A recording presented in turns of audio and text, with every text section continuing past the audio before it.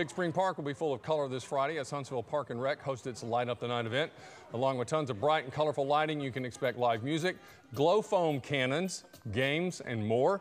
Plus, the first 100 children will get special light up party favors. There will be food trucks along Church and Williams. You'll be able to get a bite to eat if you want it. And Light Up the Night is happening from 6 to 9 this Friday.